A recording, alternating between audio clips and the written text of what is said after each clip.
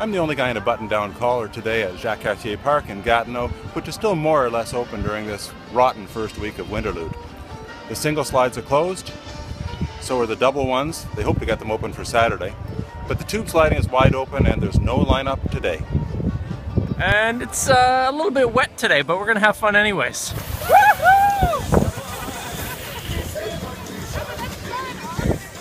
Confederation Park is pretty much closed as well for safety reasons, though you can still walk along the boardwalk and see some of the ice sculptures. Some of them are a little busted up. Confederation Park could reopen any time, but the Rideau Canal looks like this.